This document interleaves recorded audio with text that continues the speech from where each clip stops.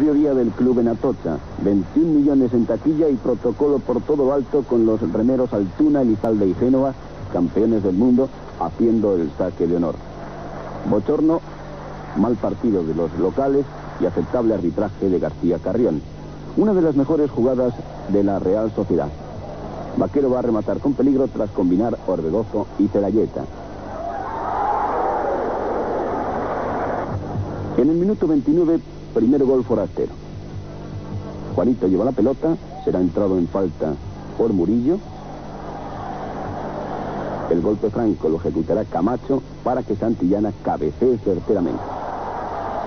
Mientras vemos la repetición, digamos que la defensa de Donostiarra estuvo imprecisa en los marcajes. Puede que se notara la falta de Cortabarri. Pero a uno ya en el minuto 29.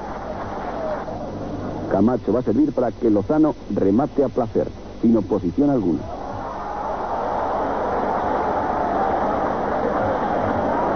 La jugada repetida. El partido pesaba ya como una gran losa en el hacer blanquiazul. Y acabaría decidiéndose a cinco minutos del descanso con el 0 a 3, obra de Santillana, tras ese golpe franco votado por Camacho. Hubo entrada de Vaquero a Juanito. Lanza Camacho y nuevo remate de Santillana, esta vez con la zurda. Vemos la repetición.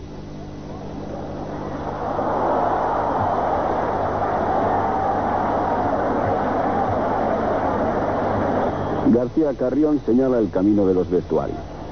En la segunda mitad, más peligro para Arconada. Ángel, Santillana y Lozano con gran intervención del guardameta. Uralde estuvo a punto de marcar a centro de Begristain, pero Fraile muy oportuno salva el gol cantado. Segundo después no fallaría el ariete. Vamos a ver cómo el balón va a córner. Corvedoso chuta, Juan José pone la bota, lanzará la rañaga y Uralde cabecea llevando el balón lejos de Agustín.